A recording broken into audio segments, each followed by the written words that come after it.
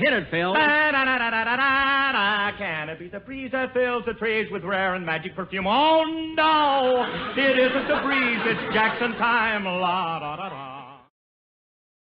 Well, hello again. This is Buck Benny speaking. I am joined by Kathy Fuller Seeley, John Henderson. Hey, John. Hello. And Zach Eastman. Uh, Hi. we, hey, Zach.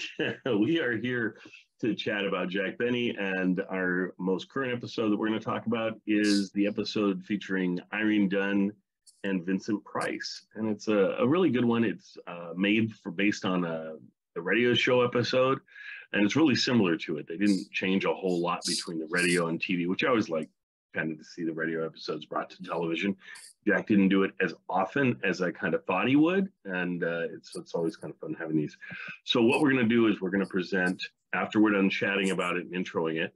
We'll have the uh, TV episode that will it'll go right into, and then after the TV episode, it's going to go into the audio of the radio show, so you could compare the two as well.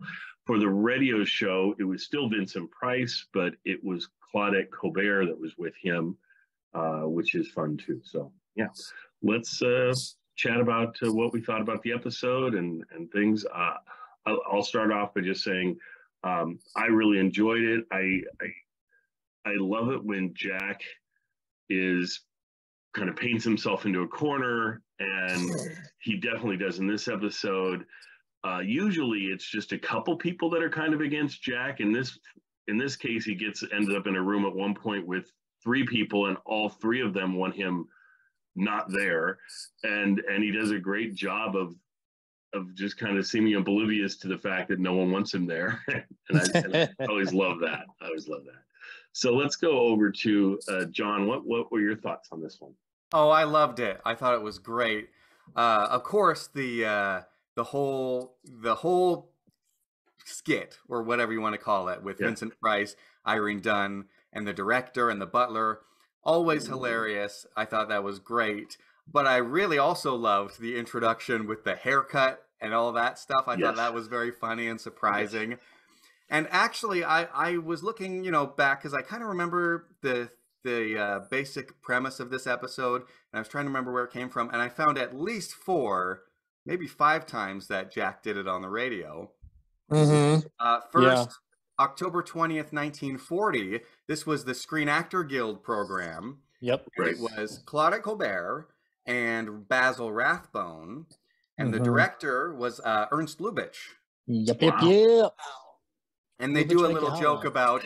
Uh, so Jack, when he's being the butler, he does like a, an over-the-top English accent, and uh, Ernst says, "You know, don't do the accent so hard," and he says, "Like, look who's talking" or whatever. Something like that. wow. Uh, Yep. And then he does it on a different program on uh, February 27th, 1944.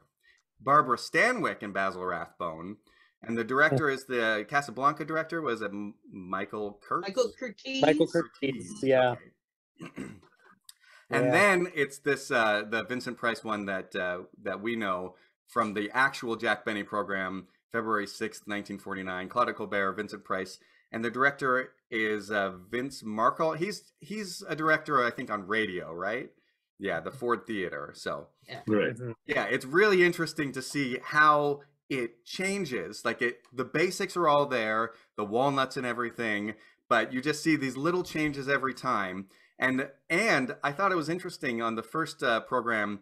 You know, it's it's a different program. It's not just the Jack Benny program, Mhm. but they give credit to Bill Morrow and Ed Beloin for writing the episode. So I don't know if they're still getting residuals by the television show, but I always wondered how that works because so many of their shows, or certainly the premise, is that they put together, were followed up by other writers, and I never knew if they get anything from Oh. that or not.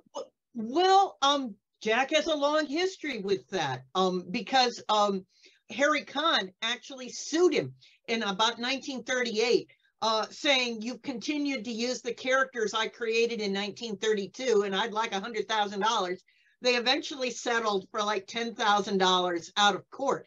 But um, it, it does show that uh, from the very beginning, Jack assumed that these were writers for hire and he, he alone owned the uh, owned the Right. intellectual property of the scripts. So And um, I- that might have changed uh, by the time of television. Might have made it a lot more complicated, but at least on radio, that's But how you would he- think if got- they were getting any residuals, any money off of it, that it would mention their names in the somehow in the credits would have said as developed by Yeah. Lloyd and Morrow But- or something. So it makes me think they probably weren't getting any money at that point. I don't Yeah. know.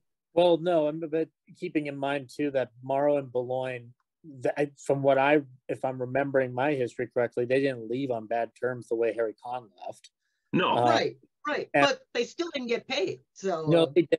But Jack took care of them. I I mean, I'm not, I'm not excusing it. Believe me, residuals are a thing that should be earned. But um, uh, he also brought them into several different writing gigs outside of radio, whether it was Right. film or public appearances. And by the time that they left, they had found other gigs. So I don't. I, I wonder if Marlon Beloin just didn't really think to ask. Um, but also remember that no one, that the script's one thing, no one was ever going to hear these live performances again. Right. So there was no sense of uh, residuals from the performance. yeah, So, because like I, said, rerun. I think they back in the day, um, they just weren't thinking that way because it was going to be live and gone, live and gone. And it's you know, um, it's it's not till uh, he's got the the four writers that they start going back to the old scripts and and digging in. So It's- uh, it, it would the- be handled very differently today.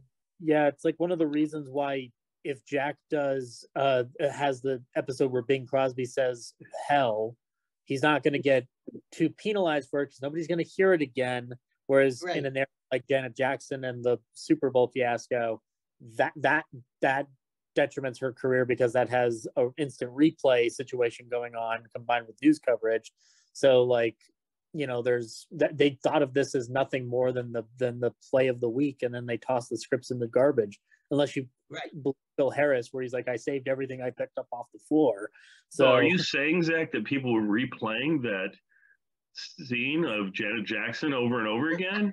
it's an example Oh my gosh. I didn't even know you could play it. I just knew you could steal it and look at it and that, that yeah, that's you know it's not not that I would do that, but uh, anyway. you can use the Will Smith slap from la- this year earlier last year with uh, for a modern example like that that's something that has the that has the coverage that something like Bing Crosby saying hell isn't necessarily going to pertain and also th- that's in an era where you could feasibly pay off the journalists to not make it a big deal like I'm just thankful he didn't slap Janet Jackson. That would have been horrible. So If you Well- think about the the way that technology has changed since this time, it's interesting to hear Jack Benny say, you know, uh, the gossip columnists. Let me see the latest thing. Oh, Jack Benny is getting a haircut. What? That's absurd. But nowadays, you actually could go on Twitter and somebody could report. A gossip columnist could report, oh, this celebrity is at this location right now doing this. Yes.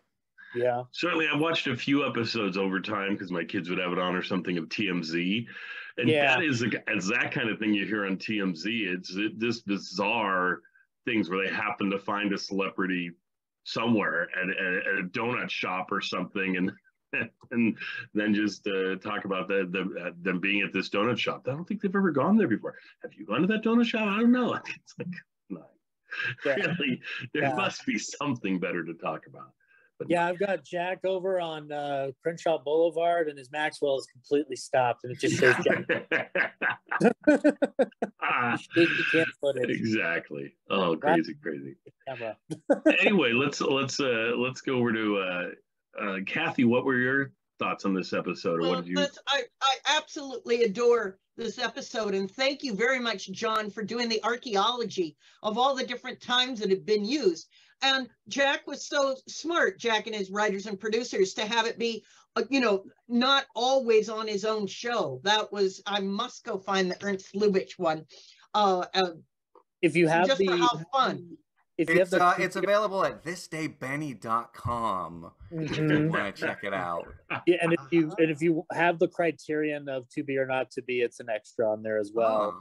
Yeah, oh, so- fantastic. Wow. Yeah. Hey, John, well, how's how's the sound quality on that one? Do you know? Oh, it's good. That sounds pretty good. Is it good? Yeah. Okay. Well, maybe I'll present that one because I kind of like the the idea of Lubitsch being in there, and That'd and the fact that it was the first one. So maybe I'll swing that one after this show instead of uh, the other one I was going to. So Well, they're they're all good, but but it it does make one of the sort of best all around Benny skits. And just as, as you all have said, it's it's amazing that that he's at his most um I, want don't want to say despicable, most um you know annoying. Uh, Yes. His character is and and you know it's sort of at a far point of being uh obnoxious, and yet it works so well and um uh, no wonder he could get his friends these fabulous actresses and and actors to do it because the whole skit makes them look um you know better nothing more fun than making fun of jack benny so uh um, Yeah. it's it's a great skit uh yeah, uh, Vincent that. Price just does such a nice job on this episode. Is is acting and just really seeming like he's put out with Jack and upset with Jack. I mean, he he really brings that across nicely. And Yeah. and of course, the more the more you do that as an actor, the more it makes Jack's performance stand out and and and builds on Jack. If you,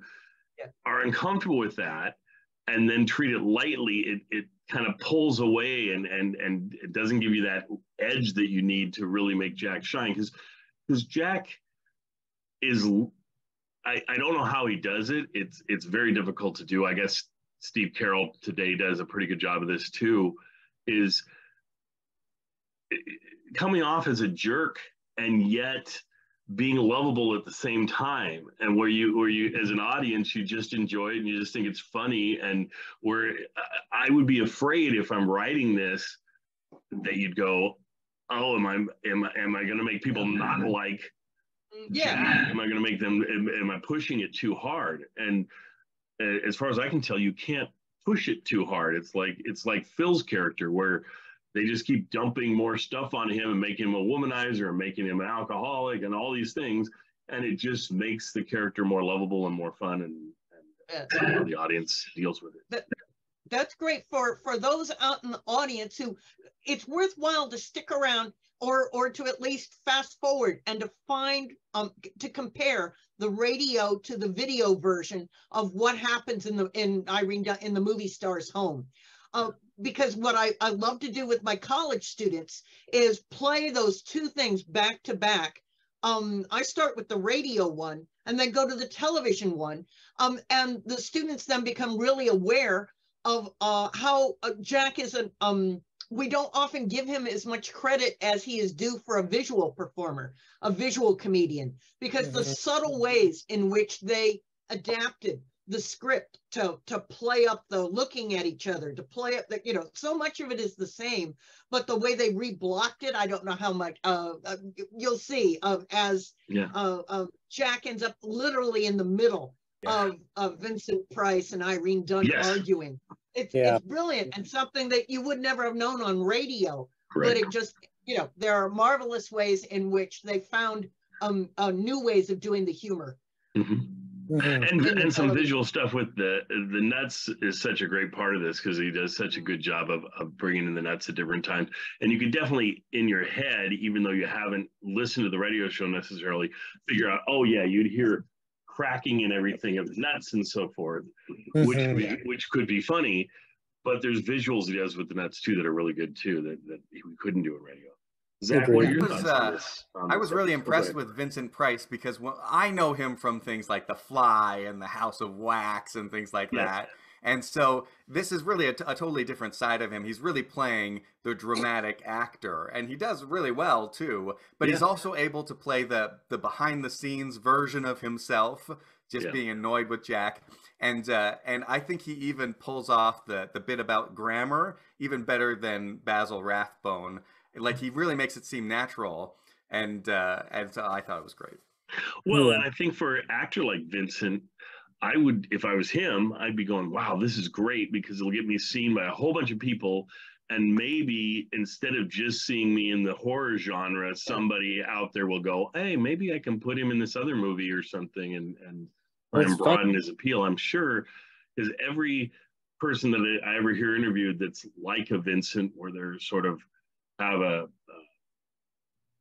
are kind of pigeonholed in a certain area are always hoping that someone will see that they can do more than that. Uh, Well, I think though I think they're thankful for all the incredible work they get because Vincent really did uh, a lot of work in in that field uh, of horror and, and that sort of thing. that he- genre. and he made that a conscious choice. He had Yeah. a choice when he got offered House of Wax. He basically made a choice.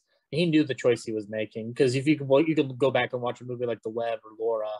You know, he had the, the potential to to move more into the the legitimate drama, Right. and he made it around the time that this episode came out to just basically kind of stick where the money is because he had other hobbies outside of acting. I mean, his paint, uh, his collection of paintings is notoriously uh, His of- cooking, his cooking. his yeah, enjoyment of gourmet food. So exactly so it's you know if you want if you want good taste sometimes you got to engage in bad taste i guess Yeah. uh, is his he's philosophy the Oh, and he really embraced it. Like you see him later in the '70s, like on the Muppet Show, and he's just like yeah just sort of spoofing himself and embracing this sort of thing Right. he's become.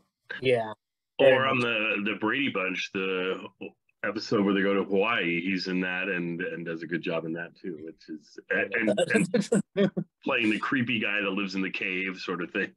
So, Mhm. I even just appreciated in the Benny show how they were able to use the um the fact that he's so tall to make Benny look you know even Yes. smaller and more you know kind of obnoxious. So um and So- how Jack just just comes across as thinking he's better than Vincent in, in every way, and and and, and uh, obviously you're like, okay, he is not the leading man material that Vincent is, and and yet Jack is like, oh no no, I'm certainly the better choice, you know, so forth. yeah. Um, Zach, what are your thoughts on it? um it's uh it, there, I, I think it was uh, there was a point brought up just a minute ago about like this is jack at its most intolerable. And i and i i, I want to speak to that effect because it's it's I, I i love using modern analogy. This is the equivalent of george costanza having his fiance lick the envelopes that are clearly poisoned or Cartman in the Scott Tenorman episode of South Park, where this is the this is an episode where if you've been listening to Benny and you watch this and you're turned off by his behavior, it could just make you shut down, or it's like it's your make or break. It's like the ultimate skit of Jack being the absolute worst Yes. and there is a absolute value to it and the only reason that it separates itself from those first two examples or any larry david show that's come out it it boils down to that he built up trust in the audience for 10 years or 8 years prior to that and they already know that he would do that it just seems like the most extreme version if you're looking at it as a like a, a slight observer of jack but it is like a it's a um a testament episode to what the Jack Benny character is supposed to be. Um, I will tell you that this is one of the also the most accessible episodes that has ever existed, partially because Irene Dunne and Vincent Price are in it. My one of my co-hosts on Real Nerds, Brian, uh, I tried to get him to watch Jack Benny for years, and he and he had said he had seen like one or two things, but he couldn't remember anything. But he got really into Irene Dunne within the last two years. And he texted me one day and he said, I'm watching my first episode of the Jack Benny program. And it was the Irene Dunne episode. And he could not stop giggling at the line, The word is best. There are only two of us drinking it. yes. yes. Uh, Oh, that that is so funny. uh, That that callback to that and the setup Yeah. of it and everything, and it's it's And perfect, it's a- Jack. and it's a great example of that vanity and and playing on the dramatic tropes that that existed in in any form of medium at that time it's it's a great knocking down posterity that morrow and Beloin were good at and then was repurposed according to the needs of the newer writers that came in it's just a really well-rounded sketch you could conceivably do this with another comedian as well if you wanted to. It wouldn't be the same that Jack did, but like if you got Bob Newhart to maybe do this, um, or like I'm trying to think of somebody that plays a more vainglorious thing. Conceivably, you could get Milton Berle to do this because it is just a very well written comedy sketch. Um, does that mean that they'll do it as well as Jack? Absolutely not. But the framework is there to make a wonderful a wonderfully awkward situation even more awkward and jack is fueling it with that with that awkwardness he's really good at fueling every sketch that his writers come up with with the added benefit of his performance that just creates an awkward situation for virtually everybody in the room. It's like the Jack Well or the it's like the episode where he goes to the Colmans for dinner. It's the same situation. If it's not if it weren't for him, it wouldn't hit the same way, but he's just making it 10 times more awkward than it has to be. Well, and Uh, you're right that it's sort of like it's sort of a similar thing with Larry David, like you mentioned, where it's like he does something that would be considered socially inappropriate. And the Mhm. reason that it goes so far is because everyone else is trying to be polite. They're trying Yeah. to let him down gently. And then it just, if they had just said it at the beginning, no, no way, they would have stopped there. But they're trying to like, they're trying to let him down gently and he just won't receive it. and similar and similar to David and Seinfeld, you know, Jack kept pushing the boundary of what his audience would accept and not accept. Uh, not to the same points that Larry David and Jerry Seinfeld did, but did you if if you're looking for the 50s or 60s equivalent on the television show, especially, there are moments where he pushes every single one of his jokes to the like the Johnny Carson episode where he's like, "How does he say so young?" and it just turns out he's a, a robot. Like that, like that is just like let's just see how far we can go. We're on television now. Let's just push it to the absolute minimum or a maximum. Uh, so yeah it's it's just one of the most accessible episodes. I'd put this in the top 10 if i was like doing a critical analysis on the jack benny program as a television show it's not one of my personal favorites but it is objectively one of the best episodes that has ever come out of that program not even a question Agreed, agreed, and, and folks are in for a, a real treat here. Uh, Kathy, maybe you can uh, Well- read to us a little of the, the variety review of this. Well, I, I was delighted to find this uh, uh, review, um, and I was partic- uh, particularly interested because um, Variety's reviewers had really harshed on Jack's TV performances. Uh, from the ones I've been reading, they didn't like it. It wasn't fast enough. It wasn't visual enough. it you know, so but they really changed their tune. Now, um, uh, they turns out they loved the Johnnie Ray episode um, that that you that will be in your series earlier. Um, and then um, they loved uh, his appearance uh, um, a week before this in uh, a Sunday afternoon show, Omnibus, where he did a cut down, a 53 minute version of his film, The Horn Blows at Midnight. So um, the reviewer is especially kind here, and um, they're going to, the reviewer is going to emphasize that this is one of the first ones that filmed that's filmed. Now I'll have to go back and check because certainly there must have been previous ones that were filmed, but um, the reviewer is going to say that in a way that's very prescient. I'm so glad that this one will be available to slot in if there's ever a problem or that could be seen over and over again. So it's sort of Ah. a, an odd backwards comment about how good this one is. So if you don't mind, I'll read really quickly because it's interesting. It appeared on December 9th, 1953. With anyone else but Jack Benny, they would have said he got lucky. Two sockeroos in a row, Sundays on end, is an event reserved for the great. Those who rated his horn blows at midnight on Omnibus as the super of his TV career may now have revised their thinking. What past this reviewing stand can't get any worse than a photo finish? Playing it close to the belt, it was the year's comedy standout in what may be TV's biggest comedy year of 1953. In this first filming for the Luckies series, Jack Benny proved indubitably that all the spontaneity of the live show can be preserved in the tinned concept. Not only that, but for the added plusage, good old variety language, plusage, it could also be in the forefront of anything he's ever done on TV. Agreeing with you, Zach, good, better, or best, as the mood of variable dictates, it hit the top strata and stayed there. If memory serves, early in his TV career, he tried a similar tack of storyline comedy with Claudette Colbert and Robert Montgomery, and it scored mightily. I like this early in his TV career. Um, radio. hmm? Uh, only the skeleton plot was retained, but with Irene Dunne, Gregory Ratoff, Vincent Price, and a butler named Rex Evans uh, as co-protagonists, it bagged more laughs of anyone. Nope, it bagged more laughs than the limit allows. In the hands of anyone less skilled in the delicate comedy nuances, commonly called touches, it would have played like a dozen others. But with Benny and his polished helpers, it was a classical gem of, at- of atomic humor. Atomic. It, the situation called for Benny to dislodge Price as Miss Dunne's leading man over Ratoff's protest. That and little more, but but with Benny supplying the filling, it made the big difference. From his writing staff of four, he got literary lace in his idiom, and at the tiller, charting the course through highways of hilarity was Ralph Levy and Hilliard Marks, uh, crafty as they come in the comedy field.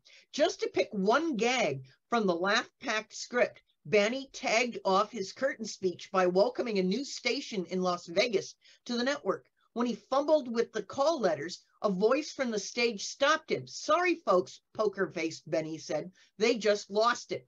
Now, you can tell me what the heck are they talking about?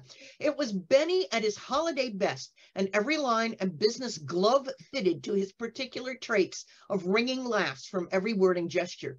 Miss Dunne was capitally correct, and to borrow from Louella Parsons, never looked lovelier. The sputtering, excitable Ratoff was an excellent foil for Benny's ambitions, and Price the exemplar of suavity, driven to outbursts of, of bad temper. Evans, as the butler, supplied those little cameos of starched wit that helped make a show. Luckily for Luckies, this one was on film. It'll be around many times again at the standby for any emergency or just plain reprising because it's just plain so howling good. So they so a long back in the day when um Benny was on so infrequently that every appearance was kind of a special event. So for a change, Variety now loves what Benny does. So Well, I just I just looked uh, up in the uh, Internet Movie Database. Uh, there was an episode, April first, nineteen fifty-one, that we don't have anymore. Claudette Colbert, Basil Rathbone, Robert Montgomery. So since Robert Montgomery was doing his television show, he was probably taking the director role. And uh-huh. so they did it again. So yeah. I guess he liked this one because he did it many, many times. Many, so many when you get something that works, you just do it. But you know, unlike today, people would only have their memories. They they wouldn't have it Correct. to just go find and watch over and over and over again on on YouTube. So I guess you could Yeah. stretch a favorite bit out. Well, I'm glad they approached it that way with Variety and talked about that. It was a really good review. Thank you. Um, because they could have easily gone the other way if they wanted to as a writer and say, oh my gosh, how many times does he have to redo this thing over and over again? We've seen it in 1951, we saw it in 1940. We, I mean, we heard it in 1940, we heard it in the, right? So they could go into big lengths. Um, I think he might even redo this whole thing on Shower uh, of Stars and one of the Shower of Stars later on. We'll have to see. I know that there's an episode that has Vincent Price in it and so forth, and I assume it might be a redo of this same thing, but I haven't watched that one yet. So we'll have to check that out and see if they, they revisit it or if they pad it more by having it be an hour long performance. I also thought it was interesting, this being a, a filmed episode, and I guess the first filmed episode, they must have done a live audience watching it to get the laugh track. And you'll notice that he doesn't pause for the audience laughing like he might normally. They're laughing on top of him, and sometimes they're catching up. So, uh, yeah, it's interesting that they had the filmed episode, but then it's not like your, you know, modern uh, sitcom of the 90s or whatever Yeah. where they're they're canning the laughter and they're calculating exactly where the laughs should be Mhm. but they're just letting the audience go for it Right. Yeah. And uh, speaking of that, the uh, since this is a filmed episode, the quality of it, at least the visual quality, is higher than we've been presenting with the, a lot of the lives. So that's kind of nice to see a, a, clear looking episode and everything. Um, this has to be, I would think, one of the earlier filmed episodes. I, I don't know how early he was filming, but um, most of them so far have been live, as far as I can tell, that we've been talking about. So this might be, be the first Well, one. There's a point I I was listening back to an interview that Laura Leibowitz did um, about the television series, and I guess at some point they were they were testing the waters, so they alternated. One week would be live, and then the next week would be filmed. So I I would imagine that this is in the early stages of Yes. of them alternating between. But you can tell that the directors are already aware of like, all right, if if we're gonna film this one, then we're gonna add value to it because the shot selection is ten times more engaging than your typical live setup. Yes. Um, it's also another example of like how Jack works the best in a medium or a wide, um, or like a medium close up. Um, like whenever they cut away to him cracking the walnuts and stuff like that, that stuff just works better for Jack. Um, I've looked at, I've compared it to the later television shows, like in the '60s. Every time they cut away to a close up of Jack, and those and those it doesn't work because they're just lingering too long on either the previous thing, and they're not allowing him to react to anything. Here, you're actually watching him engage with every performer that's around him, and it's that's that that's an energy you can only feel when it's being well directed and well blocked. Um, so it's it's it's remarkable to watch them doing it this early in in the stages of television too, especially. For sure. Great. Yeah. Yeah. So uh, the, you guys are in for a real treat. Uh, I guess we'll get to it and and go ahead and play the episode, and then and then you'll have one of the radio episodes. I haven't decided which one. It'll be a surprise for you. There you go. But uh, I'm leaning towards the Lubitsch one. We'll we'll have to see. Um, anyway, uh, anything? Any last words anybody has? Or are we good? Do we cover everything we think? Uh, the word is best. That's the only way to leave this episode. best. Oh no, But this this, this truly is one of his bestest episodes ever. So yeah, I think so. Yeah. when, when can I use that version? I don't know. Anyway, off we go. Enjoy. See you guys next time. Thanks, everybody.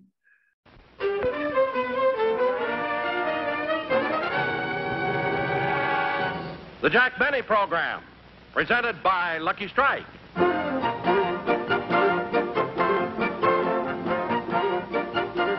What do you think this is? It looks like some form of torture machine, doesn't it? Far from it. Actually, this instrument has a lot to do with the better taste of Lucky Strike cigarettes. What you were just looking at was a device for measuring the moisture content of tobacco about to be made into cigarettes in a Lucky Strike manufacturing plant. And believe me, smoking enjoyment depends a lot on maintaining proper moisture content. Too much moisture, and your cigarette will burn too slow. Too little, and it will taste dry. That's why the American Tobacco Company keeps a sharp eye on the moisture content of the fine tobacco that goes into every Lucky during every step of its manufacture. Here's how Robert Pendleton, who operates the instrument you just saw, tests for moisture after the tobacco has been shredded. He pushes a container of tobacco under the specially designed moisture meter, the long prongs buried deep into the tobacco. Then electric impulses show the moisture content of that tobacco on a dial. Yes, the fine tobacco that goes into every Lucky gets a lot of expert attention all along the line. The moisture test is just one of the hundreds of quality controls regularly made to be sure that you get all the better taste of Lucky's fine tobacco. For smoking enjoyment is all a matter of taste. And the fact of the matter is, Lucky's taste better, cleaner, fresher, smoother. So be happy. Go Lucky.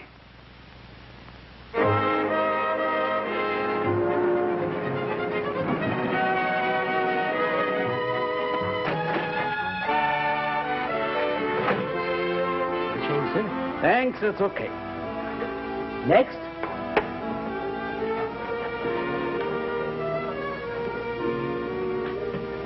You're next, sir.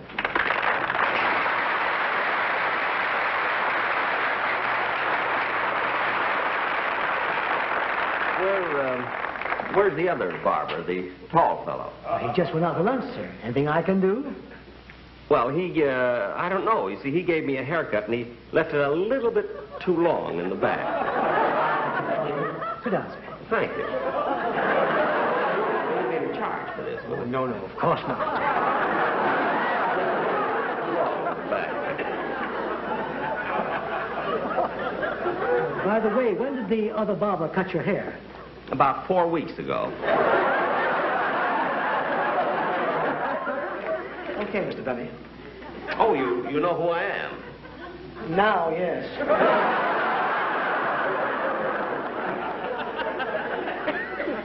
See, these Hollywood columnists are really wonderful. You can't make a move without them knowing about it. Listen to this. Uh, Tyrone Power is winding up another picture in Italy. Errol Flynn is leaving with camera crew for Australia. Jack Benny is in Beverly Hills getting a haircut.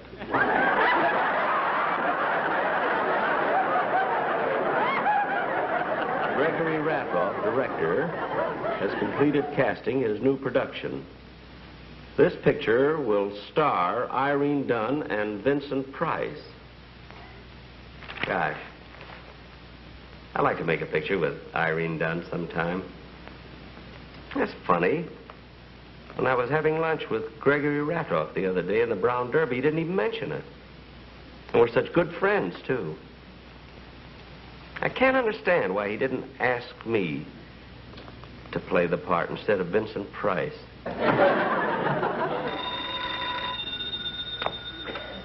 Hello? Yes? This is Gregory Ratoff. Oh, hello, Vincent. Hello, how are you? Yeah, yeah, we rehearse tonight. Yeah, at Irene Dunne's house. That's right, Vincent. See you there. Bye. Yes? Mr. Jack Benny's here to see you. Jack Benny? I don't remember having an appointment for him today. What does he want? Perhaps you're to have lunch with him. Oh, no. That I'll never do again. You know, last week we had lunch together at Brown Derby, and the most embarrassing thing has happened. There was some food left after lunch, and Jack Benny called the waiter and asked him for a paper bag to take the food back home to his dog. Well, Mr. Ratoff, lots of people take food home to their dogs. Noodle soup? Here, let me come in. Mr. Benny, Mr. Ratoff will see you now. Hello, Jackie. Hello, Gregory. How are you? Well, sit down, my boy. Sit Thank down. you. Thank you. Well, to what do I owe this extreme pleasure? Well, uh, Gregory, uh, I know you're a very busy man, so I won't take up much of your time. But I, um, I have some wonderful news for you. Yeah, what, what is it? Well, this morning I got a haircut. Well, congratulations. That's not what I mean. See, while I was sitting in the barber chair, I read in the paper that you're going to make a picture with uh, Irene Dunne and Vincent Price. That's right, Jackie, and it's going to be wonderful. I consider myself very fortunate with this casting. Well, what is this you wanted to talk to me about? Well, uh, Gregory, I was just wondering if uh, you'd uh, like to use me instead of Vincent Price. Now,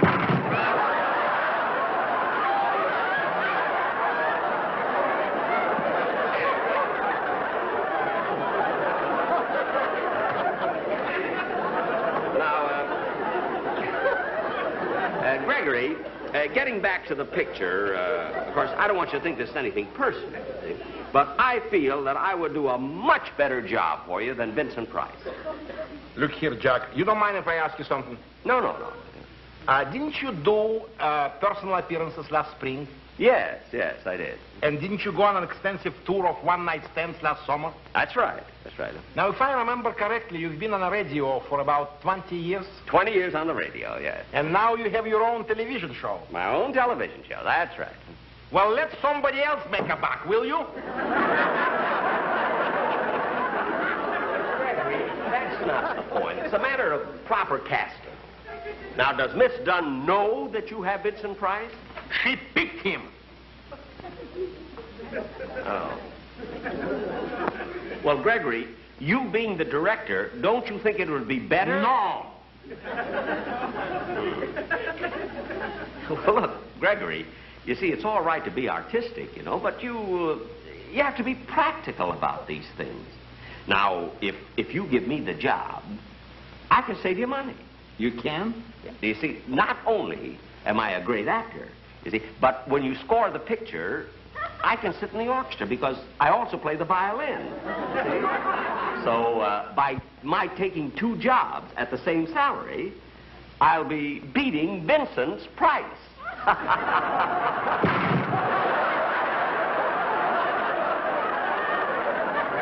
the chair turned over. How did that happen? I don't know, only my stomach did the same thing.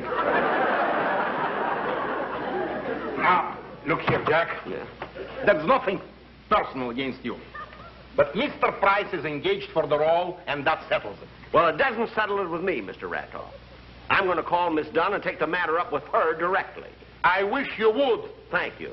Goodbye, Mr. Ratoff.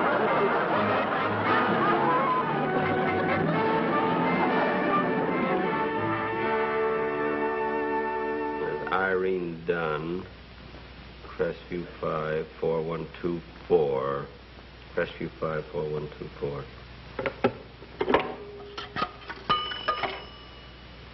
Crestview 5, 4124. What number were you dialing? Crestview 5, 4124.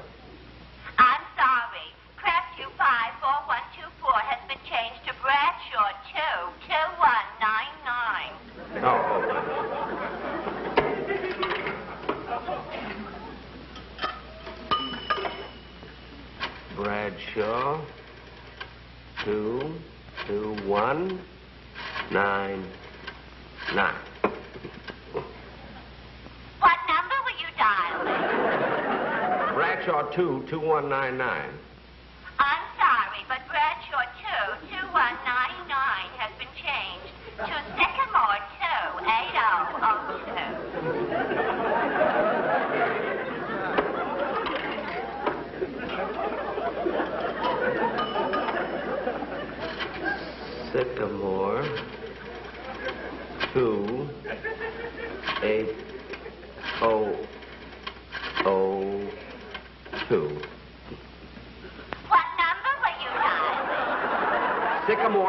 Eight, oh, oh, two. Sycamore 28002 has just been changed back to Crestview 54124. Look, well, operator, that's the number I called in the first Just a moment, I'll connect you. Hello? I'd like to speak to Miss Irene Dunne, please. This is Miss Dunne speaking. Irene, this is Jack Benny. Oh, hello, Jack. It's nice to hear your voice. The last time you called me was in 1943. 1943? Yes, don't you remember? You wanted me to play opposite you in The Horn Blows at Midnight. Oh, yes.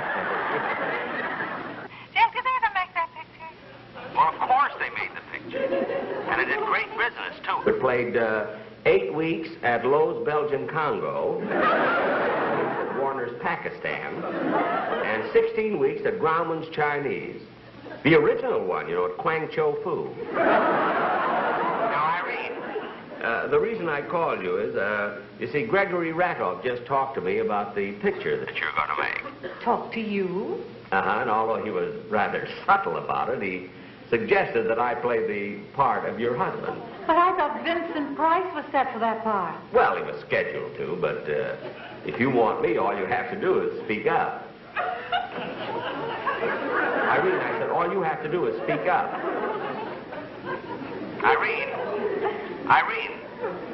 Hello? Hello? Joe's Fish Market. Sadie the Scaler speaking.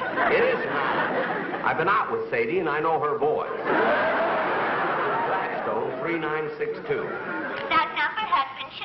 Changed to Webster 09. Later, get off the line. I will if you'll deposit 10 cents for an additional three minutes. Already? Gee, it doesn't seem like we've been talking three minutes, does it, Irene? You ought to be on this end. You ought to be in the middle. Please deposit 10 cents and I will. Oh, all right. All right. There. Now, Irene, Irene, to get to the point, when do you start rehearsing? Well, tonight at my house, but but I don't think you ought to. A- at your house. Uh, oh, what time? Eight o'clock. But really, Jack, I don't think you ought to. Eight o'clock, huh? Well, I'll be there, Irene. I'll tell you what. I'll read the part, and Vincent Price will read the part, and may the best man win. I certainly hope so. Thanks. Oh, Irene, should I come for dinner? Irene. Irene. Operator. Operator. Hmm. I got a minute left and nobody will talk to me. I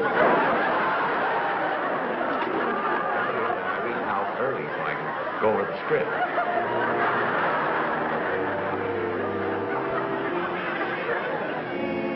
While Jack is on his way to Miss Dunne's home, I'd like a word with you about Lucky Strike. As you know, friends, your enjoyment of a cigarette depends on its taste. And Lucky's taste better. Here's why. Lucky's are made better to taste better. They're made round and firm and fully packed to draw freely and smoke evenly. And LS, MFT, Lucky Strike means fine tobacco. So for all the deep down smoking enjoyment you want from your cigarette, be happy. Go lucky. Next time, ask for a carton of better tasting Lucky Strike. Now, ladies and gentlemen, we take you to the home of Miss Irene Dunne.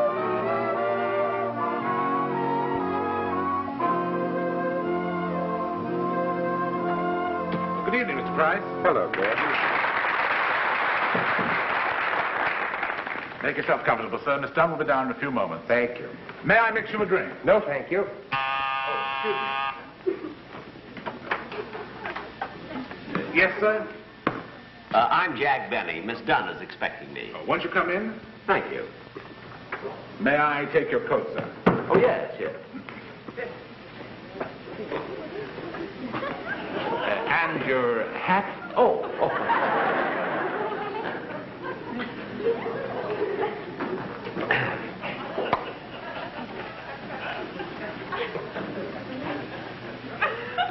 Well, Mr. Vincent Price. I'm Jack Benny, star of stage, screen, radio, and television. How do you do?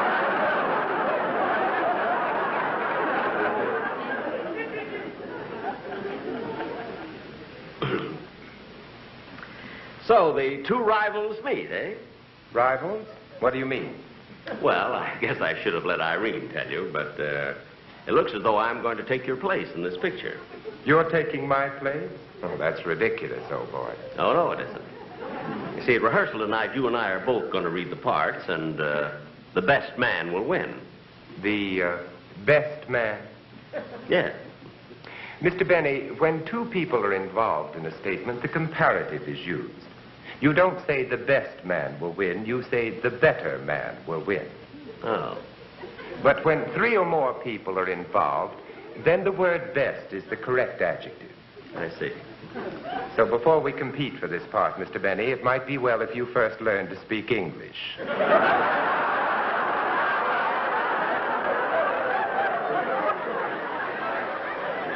Well, for your information, Mr. Price, I went to Waukegan High School and excelled in English. I got 99 every single term. Well, ain't that ginger peachy? Now, cut that out! Of all the sore losers, you certainly take the cake.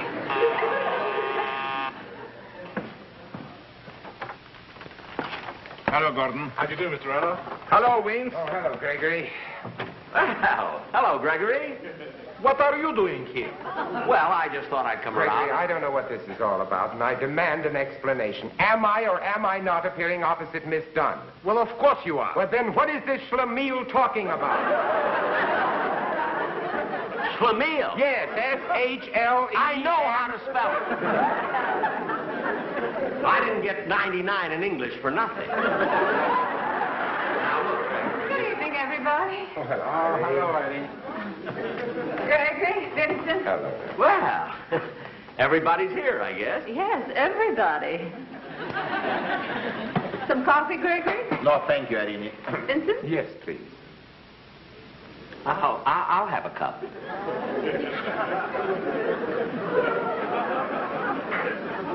Mr. Price? Thank you. Mr. Benny? Thank you. Yes, sir. Mm. Gee, Irene, this is the better coffee I ever tasted. The word is best. There are only two of us drinking. The comparative. Well, let's get on with the contest, shall we? I mean, the rehearsal. Go on. Take this tray. Gregory, before we begin this rehearsal, let's settle one thing for Mr. Benny's benefit. Is he or is he not replacing me in this picture?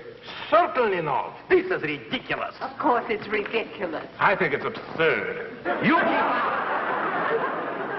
Take out the dishes like Miss Dunne told you. All right, all right. Now let's get on with the rehearsal. Look here, Jack. If you insist on staying, just keep quiet and sit down over here.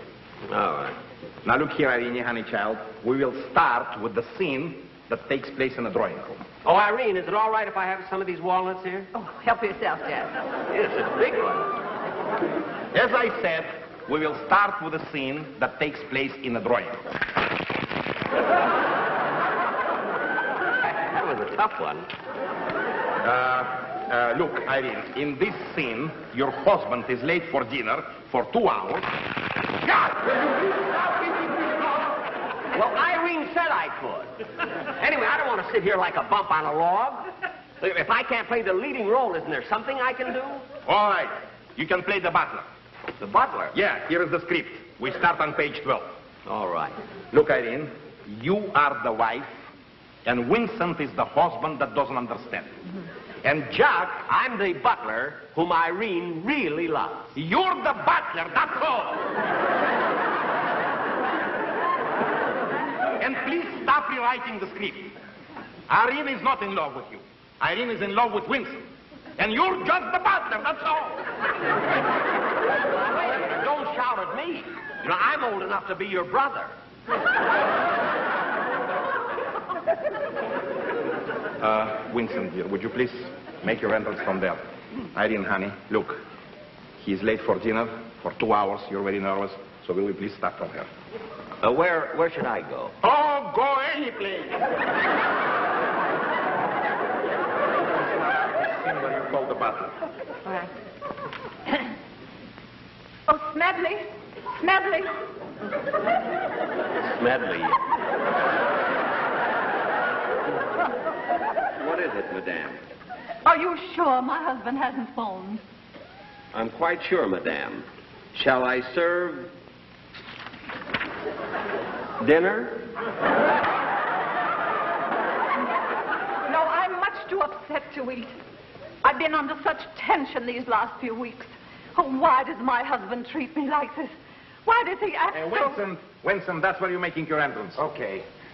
Oh, good evening, darling. Sorry I'm so late. Oh, Michael, you're always late and you're always sorry. It's been like this for months. What's come between us? Nothing, my dear. It's just that I've been so busy lately at the office. Now, let's forget about it. Come here and give me a little kiss. Dinner is served. I came in too soon here. I'm sorry, Jack. Jack, you don't come in for a few minutes more. Will you please sit down? Continue, darling. I'm sorry. Michael, I, I just can't kiss you and forget it. This can't go on forever. Every night it's the same argument, this constant nagging, nagging, nagging. I tell you, I've been working at the office. But I telephoned your office. They said you left at 2 this afternoon. Well, I had business at the bank. Michael, you were not at the bank and you know it. All right, so I wasn't. Must I explain my every move to you? There's a worm in this one. Look at the way it wiggles. Jack, will you please stop interrupting? And please get away from those doors. I'm sorry, darling. Well, please continue. Oh, it's no use, Michael. I know you're lying. Look at you. Everything you say, everything you do gives you away. Well, you can keep on talking. I'm going to have dinner. But, Michael, I must know. Do you love me or not? Of course I love you. You're lying. Very well, then I am lying. You might as well know the truth, my dear. I've never loved you, never. Michael! And if you weren't so What are you stupid, you, would have known it long ago. What are you I married you for your money, that's all. No, Michael. Everybody else has known it, and if you weren't such a blind little fool, you would have realized it yourself. And the sooner you divorce me, the happier I No, will be. Michael, no, no, I'll never divorce you. Here, here, stop these dramatics. I'm leaving. Michael. I'm going to my club. Oh. Smedley, pack my clothes. I wouldn't touch your dirty clothes.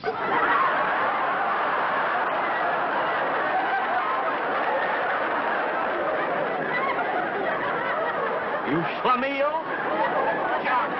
Jack, it isn't in the streets. Well, I can't help it. He made Irene cry. Well, he's supposed to make me cry. It's in the story. Well, if that's the kind of a picture it is, I don't even want to be in it. Who asked you to be in it?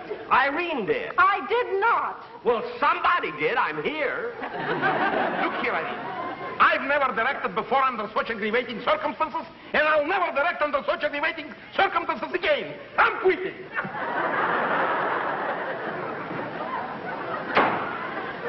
Now do you see what you've done, you blunderhead? Well, now, wait a minute. There's no need for everybody to get excited.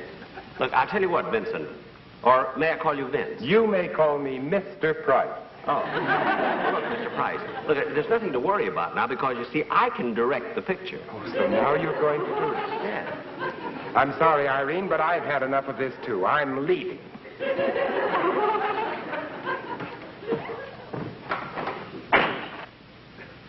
Well, he's gone. Yes, Jack, and I hope you're satisfied. Oh, I am. I am. Of course, I didn't want to get Vincent's part by default. I thought Irene was very, very clever the way you maneuvered it. The way I Why, you, you, um, Schlemiel? yes, that's it. I quit too.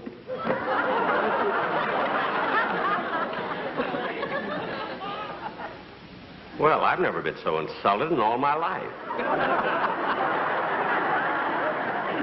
Gordon, my hat and coat.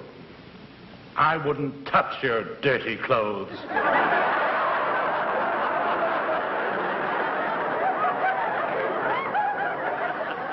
You might as well go home.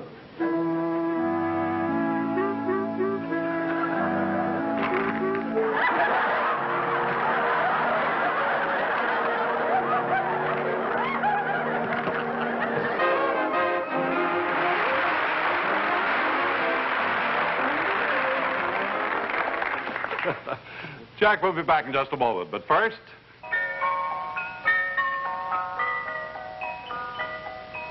Friends, here's a wonderful Christmas gift for anyone who smokes. Because it says, Merry Christmas and Happy Smoking 200 times. Yes, 10 packs of those better tasting Luckies. All done up for Christmas in a beautiful carton created just for Lucky Strike by the famous designer, Mr. Raymond Loewy. It looks so bright and colorful under your Christmas tree. And it's such a welcome gift to anyone who enjoys a good smoke. Because you know, smoking enjoyment is all a matter of taste. And the fact of the matter is, Lucky's taste better. Cleaner, fresher, smoother. That's why you can't go wrong if you remember your friends with these colorful Christmas cartons of Lucky Strike. Be happy, go lucky for Christmas gifts this year. Thank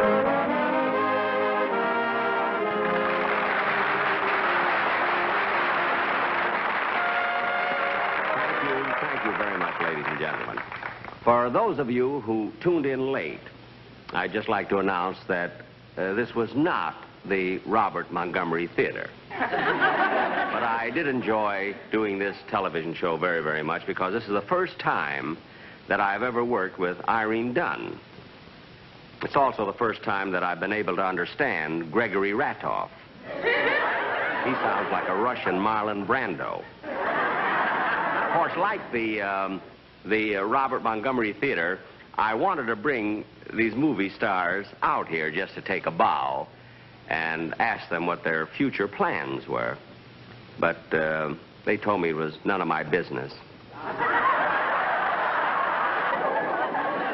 That Vincent Price, too. I, you know, I think he's a fine actor and everything, but, uh, and, you know, I'm not jealous of his talent. But I don't know why he's so stuck up.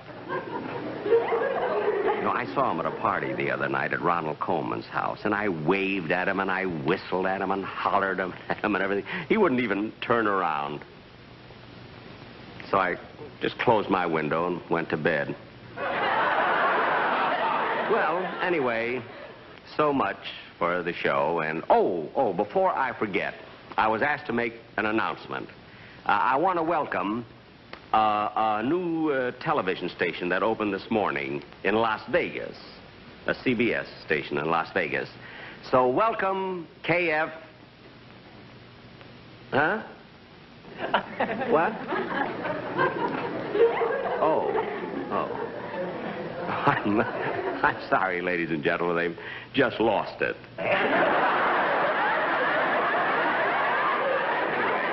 Thanks again very, much. See you in about three weeks.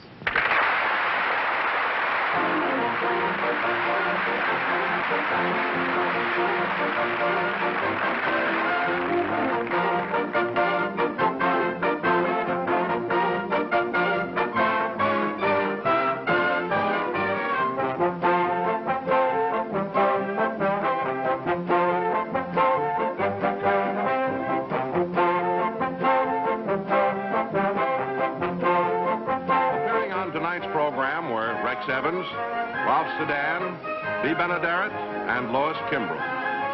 Remember, one week from tonight on this same station, charming, disarming Ann Sothern returns in her famous role as a not-too-private private secretary. You'll love watching Ann's hilarious adventures and misadventures. Tonight's Jack Benny program has been a film presentation brought to you by Lucky Strike, product of the American Tobacco Company, America's leading manufacturer of cigarettes. This is Don Wilson saying, be happy, go lucky. This is the CBS Television Network. Hello again, this is Buck Benny speaking. We have a great double feature for you tonight. We had the Jack Benny show earlier from 70 years ago this week. And now we have Screen Guild Theater from the same night, 70 years ago this week. And uh, Jack referred to it on his show that he would be on Screen Guild. And this Screen Guild uh, show is written by uh, Bill Morrow and Ed Beloin, the regular writers for the Jack Benny show. And you can tell, I mean, it, it feels like a, a Benny script. And so it's a neat show to bring you. I, I love bringing the shows from exactly, you know, 70 years ago, 60 years ago. And when they mention something, uh, an appearance Jack's making or so forth, that I try and bring that to you as well.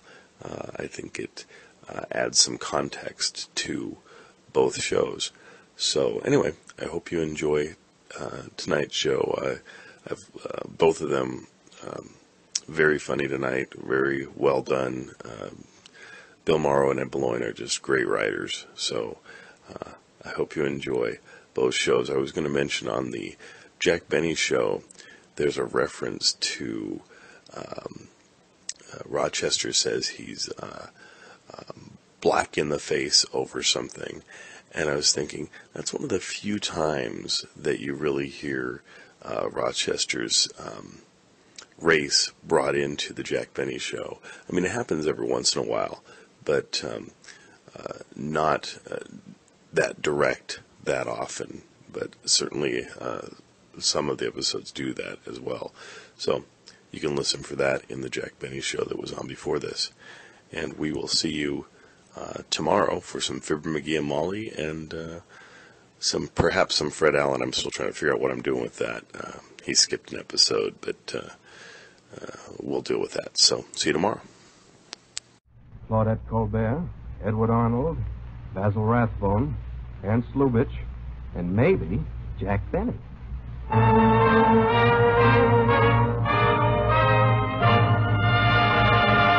The Gulf Screen Guild Theater.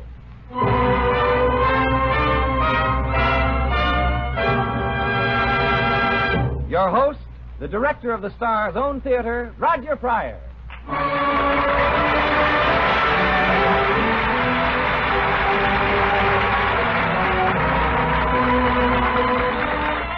Good evening, everyone.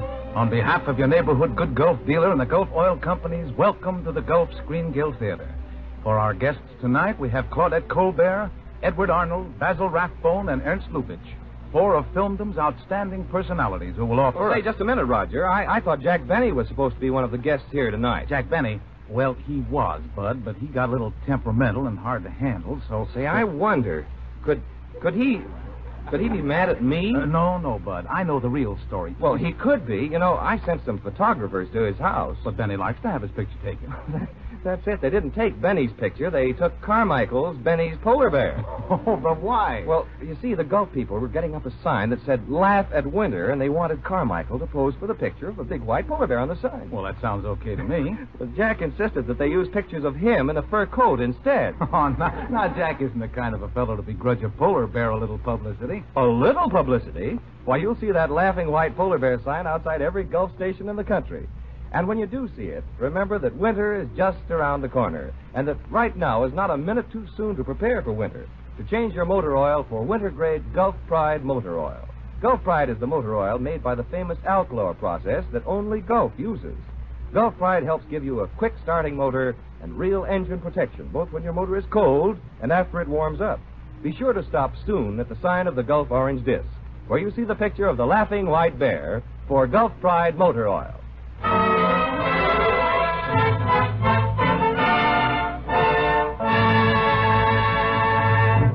That was good advice, Bud. But now about Jack Benny. You see, Jack wanted to be on the show in the worst way, but we tried to explain to him that this season we're going to do a dramatic series, and he just wouldn't fit in.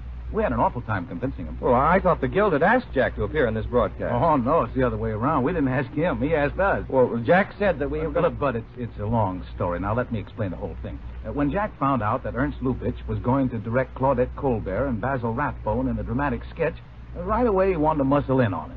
So he called up Edward Arnold, president of the Screen Actors Guild, and tried to sell himself. The way I understand it, Arnold had an awful time convincing Jack. But look, Mr. Arnold, there's no reason why I shouldn't be on this show. Gee, when else will I get a chance to act with Claudette Colbert? Jack, I've been trying to explain to you that the play is all set and the cast is complete. Now, let me, let's make it some other time. Now, you don't have to beat around the bush, Mr. Arnold. Look, if you don't want me on the show, just tell me. All I want is a simple answer, yes or no. No. Now, wait a minute. I can tell from your attitude, Mr. Arnold, that this is a personal matter. What have you got against me? I haven't got anything against you, Jack. But you're a comedian, and frankly, I don't think you have enough dramatic ability to play the lead opposite Miss Colbert. What do you mean I can't be dramatic? You ever see me when I was worried? Why, I'm only 32 and I've got gray hair. You're only what? I've got gray hair, can't you hear? now, look, Mr. Arnold, I'm not going to beg to be on this program, and let's get this settled one way or the other. Is it yes or no? Definitely no. Well, who can I speak to besides you about this? there must be somebody. Well, Jack, there's only one suggestion I can make. Get in touch with Ernst Lubitsch. He's going to direct the play. Gee, Lubitsch. And if it's all right with him, it's all right with me. Well, thanks, thanks. I'll call him right away. By the way, what's Mr. Lubitsch's telephone number? Ulrich, 8900. Wait till I write it down. Ulrich. Hey, that's the number you call to get the correct time. Now look, Mr. Arnold. Hello? Hello? Operator, I was cut off. That's what you think, kid. Oh, I'm sorry. Fine president of the Screen Actors Guild. I got a good mind to run against him. Well, let's see. Where can I get Lubitsch's number? Oh, here's a telephone book right here.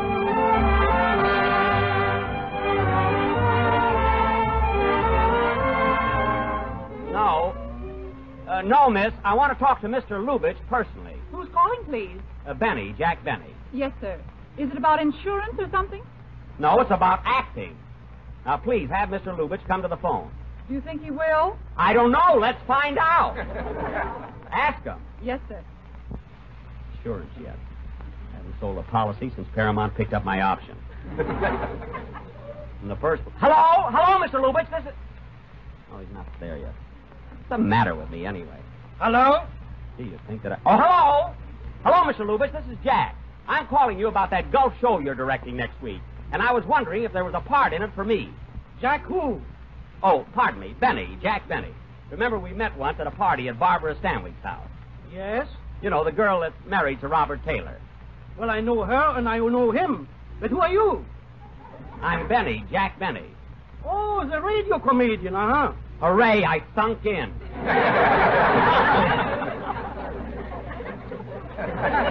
now, here's the situation, Mr. Lubitsch. I just spoke to Edward Arnold, president of the Screen Actors Guild, whom, incidentally, I'm running against next year. And Mr. Arnold said if it was okay with you, I could be on the program. But, Mr. Benny, this is a serious, dramatic play, and I'm afraid there is no part in it for you.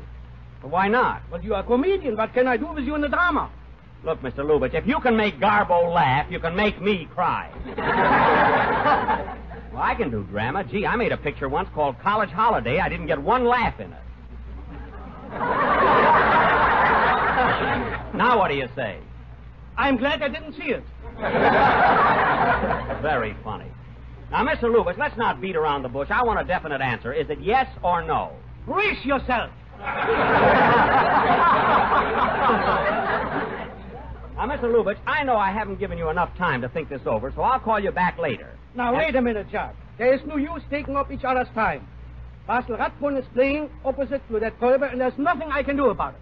Well, why can't we make it a triangle? Why can't he be her husband and I her lover? Who would believe that?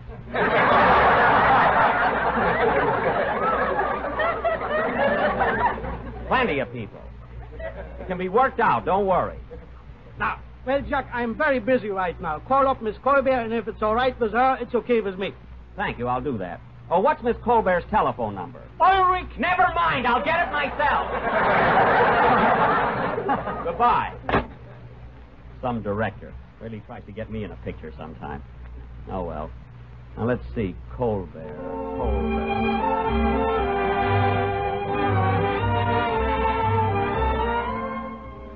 Oh, uh, Miss Colbert isn't home right now, eh?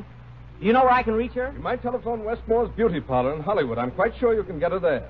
Uh, thank you very much. Goodbye.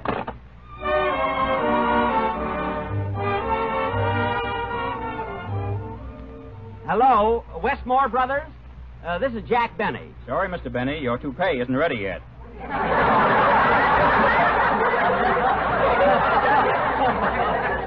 I don't want my toupee. I'd like to speak to Claudette Colbert. Is she there? I don't know. Hey, Wally, is Claudette Colbert here? I don't know. Hey, Perc, is Claudette Colbert here? I don't know. Hey, say! Never mind, let it go. I'll wait till she gets home.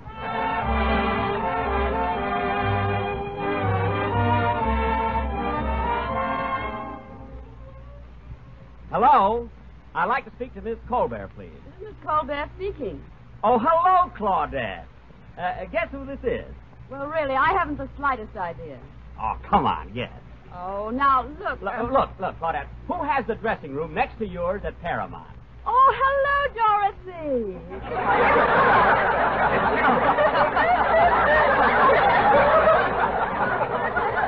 Dorothy, I'm not Lamour. Look, Dorothy's dressing room is on one side of you. Now, who's on the other side? That's a washroom. Only part of it. Claudette, look, this is Jack Benny. Oh, hello, Jack. Hello. Look, Jack, I, I haven't decided yet about those Christmas cards, but if you'll call a little later. It's not the Christmas cards. There's no rush on them.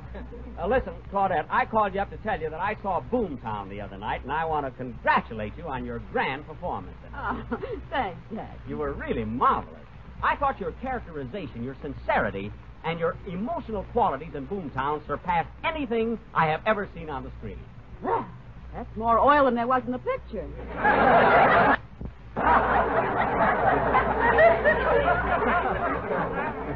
No, no, I'm serious, Claudette. It was a great performance. Now, let's see. There was something else I wanted to speak to you about. Oh, yes. Yeah, look, Claudette. Uh, Mr. Lubitsch suggested I call you about the golf show next Sunday. Yes? Have you any objection to my playing the part of your husband in the sketch? Oh, well, I understood Basil Russell was playing the part. Well, he was scheduled to, but if you want me, all you've got to do is speak up. I said, all you've got to do is speak up. Claudette, are you there? Yes. Oh, oh. I wish you'd think this over because it would really be a wonderful break for both of us. Mm, Especially me. Oh, I wouldn't say that. Let's say it'll do us both a lot of good, shall we? Would you mind hanging up?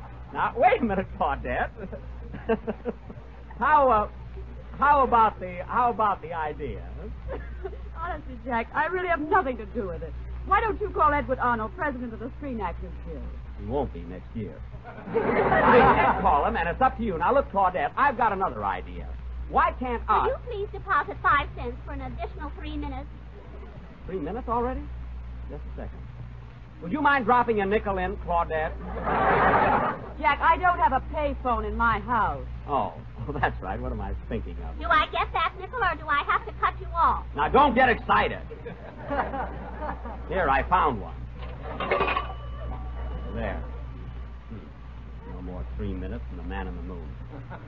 Doesn't seem like we've been talking for three minutes, does it, Claudette? You ought to be on this end. Well, to come to the point, Claudette, here's what I was going to ask you. Uh, when do you start rehearsing for the play? Tomorrow night at my house, but Jack, I don't think you At ought- your house, eh? What time? Eight o'clock, but really, Jack, I don't Eight think you ought o'clock. to... Well, thanks, Claudette. See you tomorrow night. I'll read the part, and Rathbone will read the part, and may the best man win. That's fair enough, isn't it? Kind of sticking your chin out, aren't you, Junior? We'll see. Well, goodbye. Goodbye. Oh, by the way, Claudette, shall I come for dinner? Oh, well, some other time.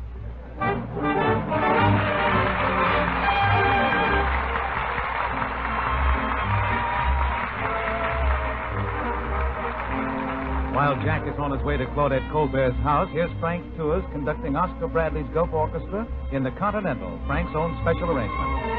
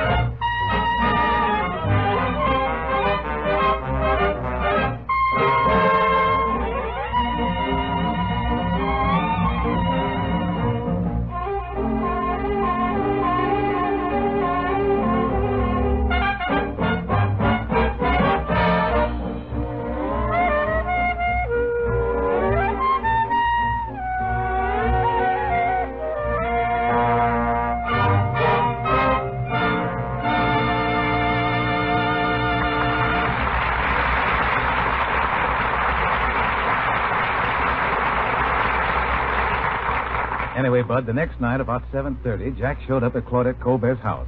I wasn't there, of course, but the way I understand it, when Jack arrived, Miss Colbert was still having dinner. So the butler opened the door and... Right this way, Mr. Benny. I'll show you into the drawing room. Well, thanks. Thanks. Mr. Rathbone is here already. Oh, he is. One of those anxious guys, eh? Say, this is a lovely home. Lovely. May I take your umbrella, Mr. Benny? Oh, yes. Yes, I... I uh, should have left it out in the hall. You know, it looked like rain. well, well, Mr. Rathbone. I'm Jack Benny, the movie star. How do you do? How do you do? So the uh, two rivals meet, eh? Rivals? What do you mean? Well, perhaps I should let Claudette tell you, but it looks like uh, I'm taking your place on the golf show next Sunday. Oh, that's ridiculous, old boy. Oh, no, no, it isn't. You see, at rehearsal tonight, you and I are both going to read the part, and of course, the best man will win.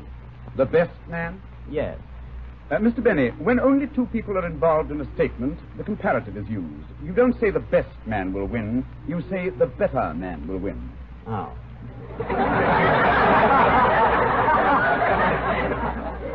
Now, if three or more people are involved, then the word best is the correct adjective. I see. So before we compete for this part, Mr. Benny, it might be as well if you first learned how to speak English. Hmm. Well, thanks for the lesson, Madam Lazanga. For your information, Mr. Rathbone, I went to Waukegan High School four years and I excelled in English. In fact, I got 99 every single term. Ain't that interesting? Now, cut that out!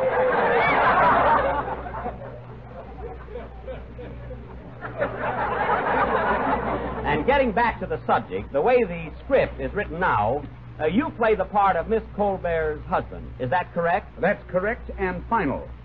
That remains to be seen. Hmm.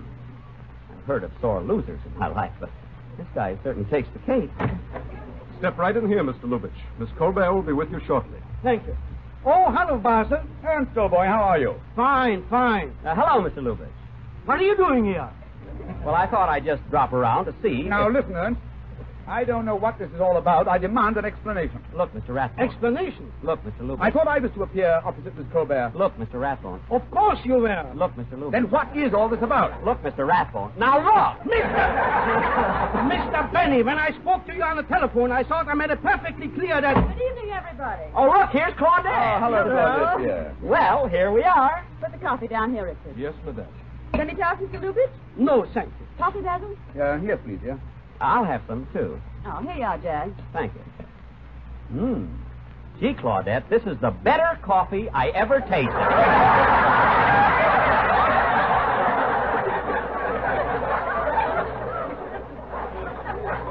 Mr. Benny, yes? the word is best. There are only two of us drinking it. Make up your mind. Well, we're all here, so let's get started with the Now, rehearsal. just one moment.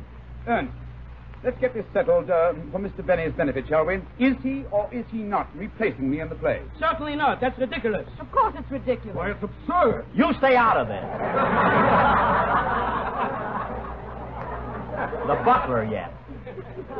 Then, Mr. Benny, I'd like to know why you said that Mr. Lubitsch recommended the change. I didn't say that. I said that Miss Colbert suggested it. I suggested nothing of the kind. But Claudette. Please, please, stop all Oh. this bickering. Now, Jack, if you like the butt to watch the rehearsal, take a chair and be quiet. Yes, sir. Oh, Claudette, is it all right if I have some of these walnuts here? Go right ahead. Help yourself, Jack. Thank you. Mmm. Big one. Now, Claudette, you too, Basil. If you both turn to page 12 in the script, we will proceed. Boy. These nuts are good. Now, Claudette, you are a wealthy society girl who is married to a New York stockbroker. That's you. Gee. But he does not love you, Claudette. And as the French say, it is a marriage of convenience. Gee, that was a tough one.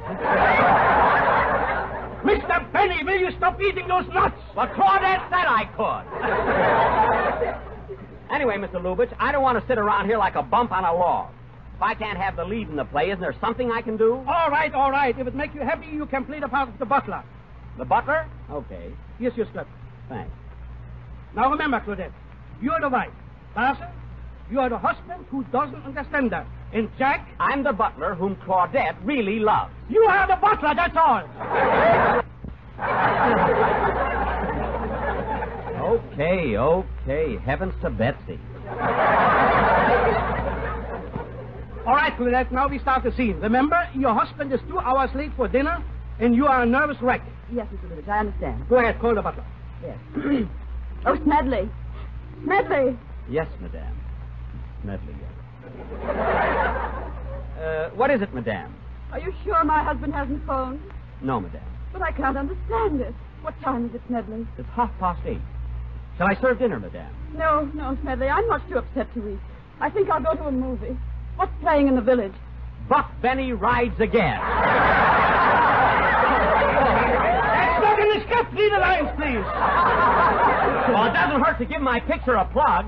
It doesn't change the plot any, does it? For heaven's sake. Read the way it's written. All right, all right. Give me that again, again, Claudette. Okay. no, Smedley. I'm much too upset to eat. I think I'll go to a movie. What's playing in the village? Ninotchka. How's that? Much better. And Buck Benny rides again. It's a double feature. Jack, please. All right, I'll start over again. Shall I serve dinner, madame? no, Smedley, I'm much too upset to eat. I think I'll go to a movie. It's Boomtown playing in the village. Well, we got 'em all in. Very good, Claudette. Now, at this point, the husband enters the room. I'm ready, Ed. Oh, Mr. Lubitsch, let me ask you something. When Basil comes in, or Basil, by the way, how do you pronounce that? Basil or Basil? Mr. Rathbone. Oh. Well, when Mr. Rathbone comes Oh, in. Oh, just read the lines, Jack. I handle the rest. All right, all right. Fine director. What did you say? I said you're a fine director. I think you're wonderful.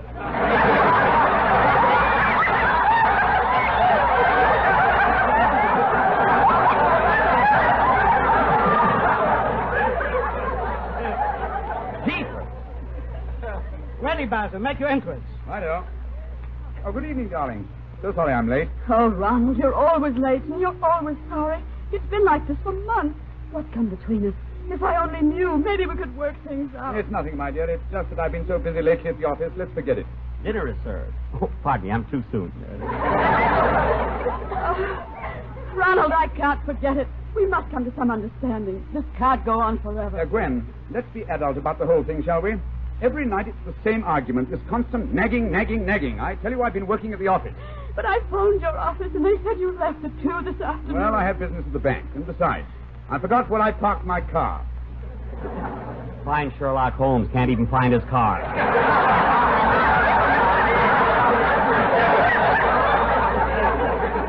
Jack, stop interrupting, please.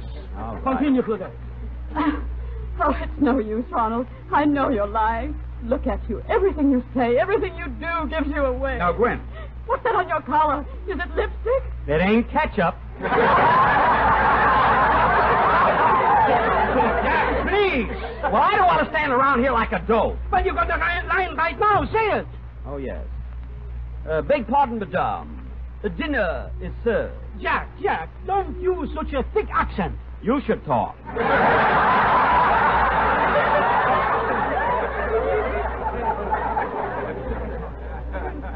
Uh, beg pardon, madame. A dinner is served. Now.